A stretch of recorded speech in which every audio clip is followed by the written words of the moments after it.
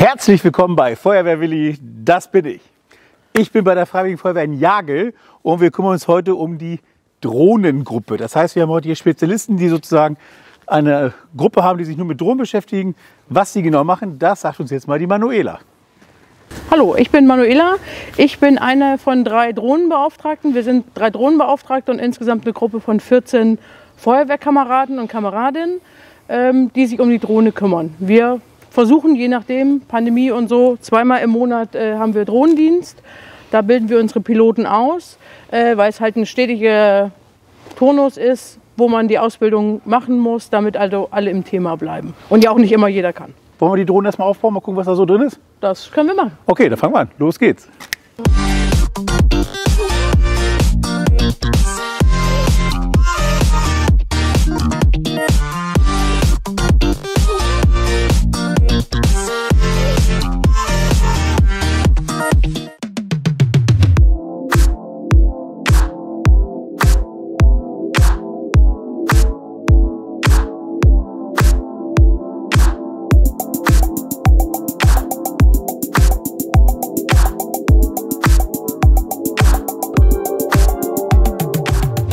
Ich sehe ja schon ein bisschen Unterschied. Also allein schon der Controller, da geht es ja schon los. Ne? Ist halt ein bisschen was anderes, wie ich es von mir kenne. Und die Drohne ist natürlich auch ein bisschen größer. Das ist natürlich schön. Mit Verkehrsleitkegeln. Ja. Schön. Nur wenn kein Wind geht. Wir gehen jetzt zum Helipad, Ja. setzen die Drohne auf. Äh, der, die SC-16S muss hochfahren. Dann machen wir die Drohne an, verbinden sie, erfassen noch die Wetterdaten, prüfen den GPS-Tracker und dann geht's los. Ja, okay. Hab die Hälfte zwar noch verstanden, aber das genau so machen wir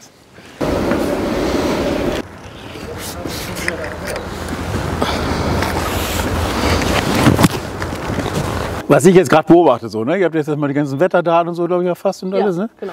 Äh, ihr habt dann das Helipad habt ihr sozusagen mit kleinen Mini-Sandsäcken beschwert, Ja, genau. dass es nicht wegfliegt. Das ist ja auch interessant. Und der Controller ist ja der Hammer, ne? Da brauchst du ja fast gar keinen externen Bildschirm mehr. Nee. Aber Aber wir hätten trotzdem noch einen. ja, trotzdem einen. Das heißt, ihr könnt jetzt auch mit HDMI-Kabel verbinden auf dem Einsatzleitwagen oder sowas oder auf dem Fernseher und Also wir sowas. haben einen mobilen Fernseher, der hat einen Zapfen für ein Stativ. Ja. Und dann könnten wir das auch. Also mich hat ehrlich gesagt gewundert, dass es auch so schnell ging mit dem Aufbau, weil die Drohne ist ja relativ groß, du musst die Rotorblätter einzeln anbauen, dies, das, aufklappen, dies, das, Ananas, wie man so schön sagt. Ne? Äh, das hat man also gemerkt, dass das geübt wird und auch geübt werden muss. Das heißt, wenn ihr jetzt fliegt, ähm, fliegt ihr alleine? Habt ihr Sicht da? Wie ist denn euer Konzept? Macht ihr da? Genau, also es kommt immer darauf an, wo wir fliegen, aber wenn wir jetzt zum Beispiel die Kripo unterstützen bei einer Personensuche, dann, wie gesagt, es, wir sind ja eine Gruppe von 14 Leuten, es ist in der Regel so, dass äh, ein oder zwei äh, fliegen. Einer ist immer bei dem Piloten, achtet mit auf den Display, weil es immer so aufgeteilt ist, der Pilot entscheidet, beobachtet er die Drohne oder den Bildschirm, wenn wir jetzt was suchen. Und dann würde der zweite Mann das jeweils andere machen. Und dann gibt es in der Regel, wenn wir jetzt so schlecht einsehbar, wir fliegen auf dem Dunkeln, dann ist es so, dass äh, immer wir noch Posten abstellen, die die Höhe so ein bisschen im Blick haben, die Drohne sehen, äh, sind da hohe Bäume mit, mit einer Handlampe noch anstrahlen und so. Genau. Also im Dunkeln fliegen ist ja normalerweise ja für Normalo nicht erlaubt. Ne? Aber natürlich BOS, im Einsatzfall hat man keine andere Wahl. Man kann sich nicht schönes Wetter aussuchen. Das heißt, äh, man muss dementsprechend nachts auch fliegen können. Und das ist natürlich äußerst anspruchsvoll. Ne? Aber jetzt würde ich so gerne mal hören. Bin ich sehr gespannt, wie das Ding abhebt.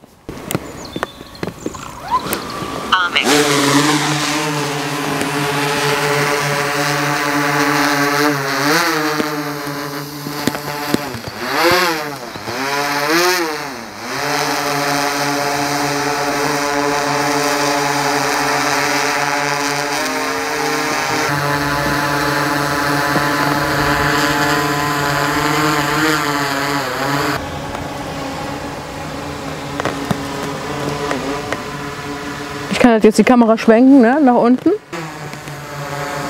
Nicht nach vorne, sondern nach unten gucken.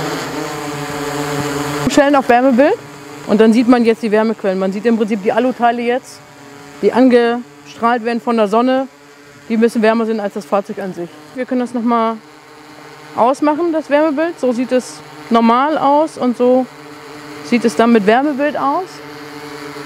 Man kann sie gut einsetzen für eine Personensuche, wenn also jetzt äh, irgendjemand weggelaufen ist und in einem Maisfeld oder Tiere wechseln hatten wir auch schon. Dann kann man natürlich gut Wärmequellen suchen. Hängt natürlich immer ein bisschen von der Umgebungstemperatur an.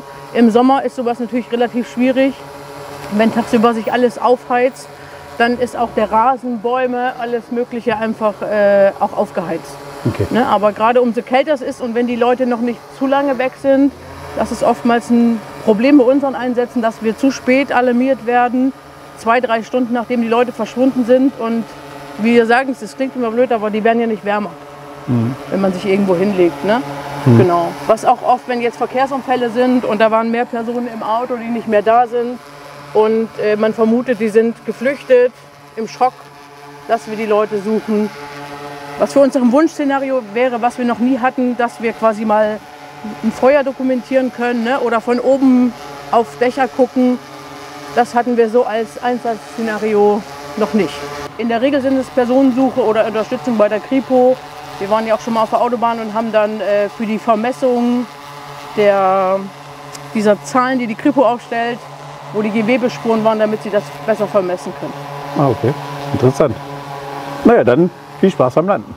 Danke. Dieser mit. Ja. Nicht beide. Den hinterm Bildschirm lang, genau. Also ich muss ein bisschen schmunzeln. Ich sagte nur, kann man mal den Bildschirm sehen? Zack, war hier ein Stativ mit einem DIN-Norm-Zapfen, mit dem Bildschirm drauf unten und gleich so ein Pavillon aufgebaut. Das ging so schnell, ich konnte gar nicht Halt rufen. Ich wollte nur den Fernseher sehen. Aber okay, das ist Feuerwehr. Ähm, man sieht hier sozusagen eins zu eins das Bild, was man sonst auf den Controller sieht, der Drohne. Ich stelle mir gerade vor, die Einsatzleitung sieht jetzt gerade das Live-Bild von der Einsatzstelle und kann direkt hier auch eine Lagebesprechung machen, eine Planung, also eine quasi die ähm, Erkundung aus der Luft mit einfließen lassen, sozusagen im Führungsvorgang. Und dann kann man hier direkt sprechen, was man sieht und sozusagen, was der Drohnenpilot hier darstellt.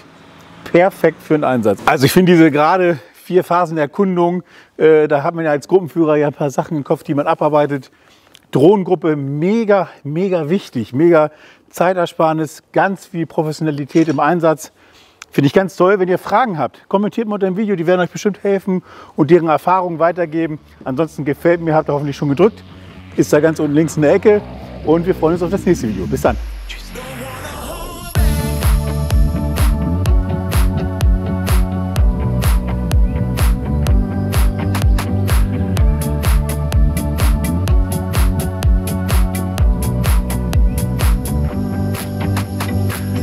Das bin ich. Ich bin immer bei der Feuerwehr, in, äh, ich vergesse jetzt mal Jage. Steht doch auf Ja, sehr Ne? gut. Ja, Hör auf zu filmen.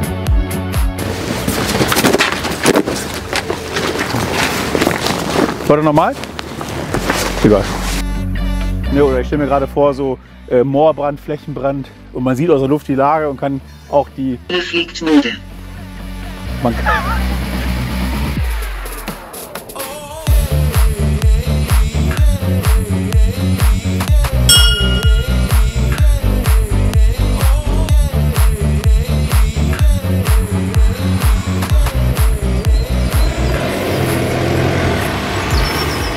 Danke.